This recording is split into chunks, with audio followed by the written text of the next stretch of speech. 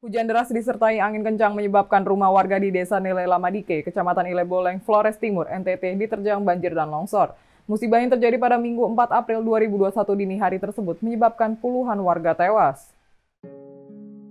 Hujan deras disertai angin kencang yang disebabkan oleh bibit siklon 99S atau Seroja sebabkan puluhan wilayah di NTT terendam banjir.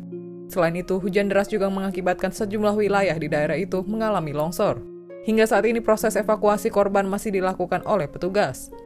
Namun demikian, upaya yang dilakukan itu belum maksimal karena terkendala dengan tidak adanya alat berat.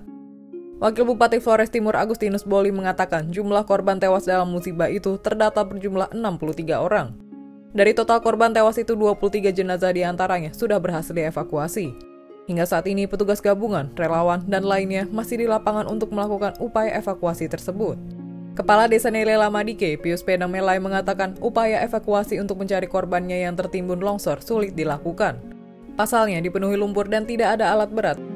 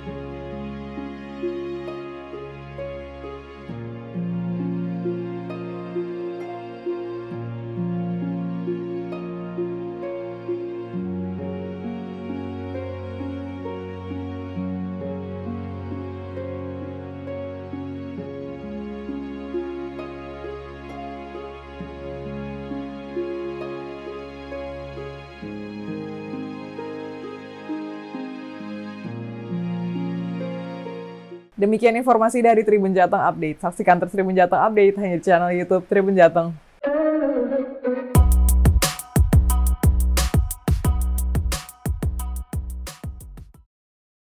Ikuti update terbaru dari sosial media Tribun Jateng.